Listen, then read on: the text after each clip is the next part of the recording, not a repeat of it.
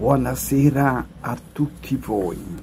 Prima di tutto un grazie per esservi organizzati dalla base per portare la voce della base dentro un convegno della SMAT che praticamente sta ignorando tutto questo. Grazie per la vostra attenzione e per il vostro sforzo di portare avanti questo nostro impegno sull'acqua.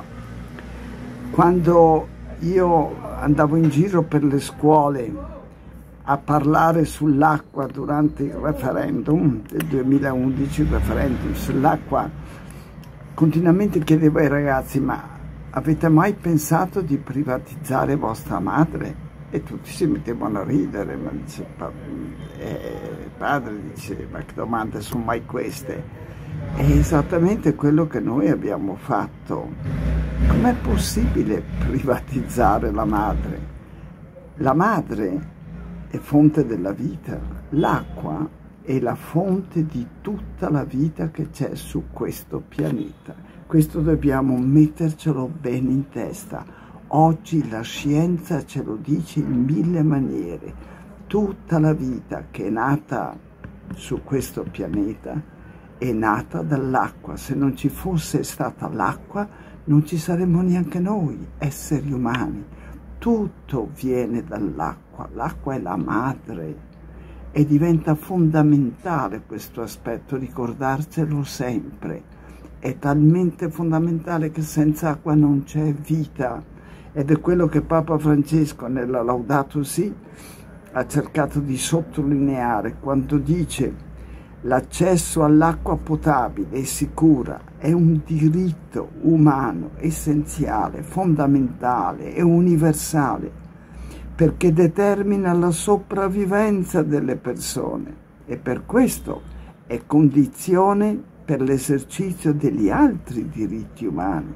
E poi procede a dire una cosa incredibile, continua dicendo eh, perché significa, dice, negare ai poveri l'acqua, dice, significa negare ad essi il diritto alla vita, parla dell'acqua come diritto alla vita, è un termine che in campo cattolico è usato per l'aborto, per l'eutanasia, per la bioetica, il Papa lo usa per l'acqua ed ha ragione, perché l'acqua è la madre di tutta la vita e l'acqua è il bene comune più fondamentale che abbiamo. Ecco perché domanda una nostra partecipazione seria, pensione di tutti i cittadini nella, nella gestione dell'acqua.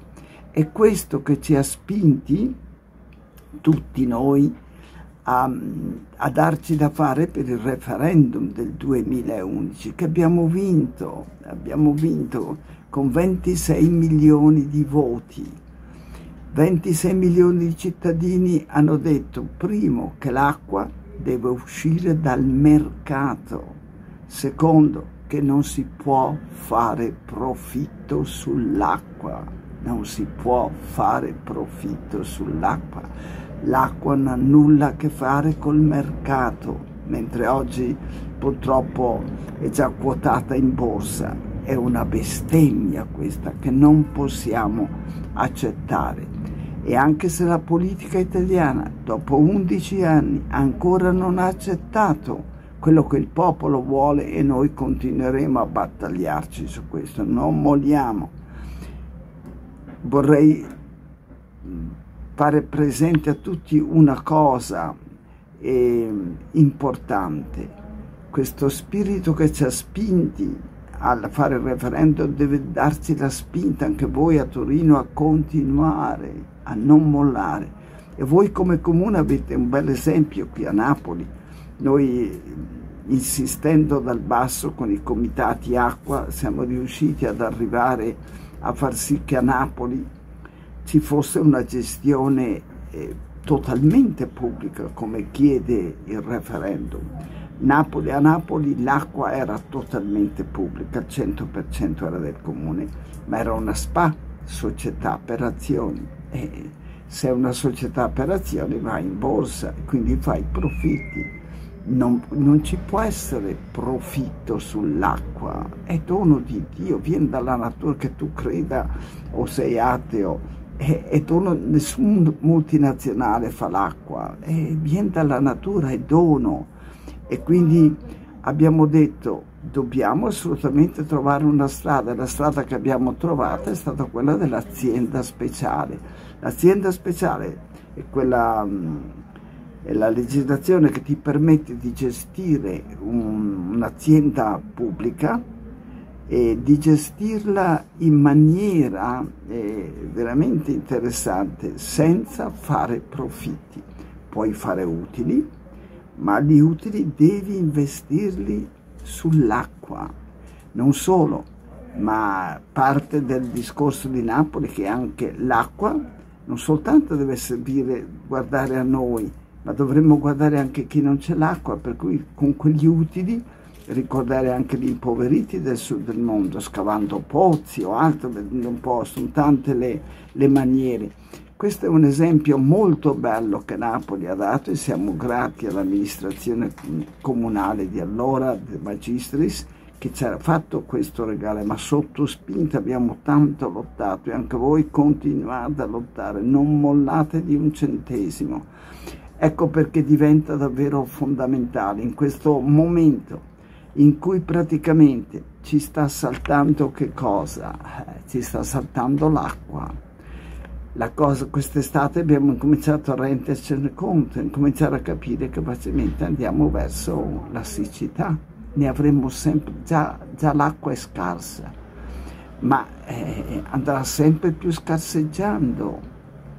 Perché? Ma perché la trattiamo così male, perché la usiamo così male. Ecco perché allora dobbiamo incominciare a capire che deve esserci una gestione attenta dell'acqua, fatta dal basso, fatta democraticamente. Noi abbiamo sempre detto si legge acqua, ma si scrive acqua, ma si legge poi democrazia. È parte fondamentale questo. Per cui in questo momento così difficile, del surriscaldamento, per cui avremo sempre meno acqua. È fondamentale che questo bene essenziale per la vita rimanga in mano pubblica e davvero mentre vi ringrazio di nuovo chiedo a voi di non mollare in questo impegno, datevi da fare perché anche a Torino finalmente possa obbedire e debba obbedire secondo me al referendum perché il popolo italiano si è espresso. L'acqua deve uscire dal mercato e non si può fare profitto sull'acqua.